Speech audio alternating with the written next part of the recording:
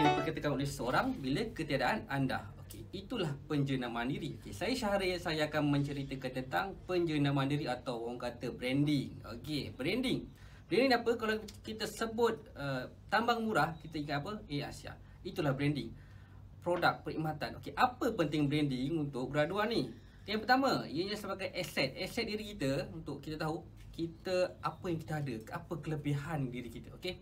Yang kedua, untuk kita mudah dikenali oleh orang lain, oleh majikan di luar sana. Okey. Dan yang ketiga, of course lah untuk kita mungkin kita lebih mengatasi daripada orang lain. Kita nampak unik berbeza daripada orang lain. Okey.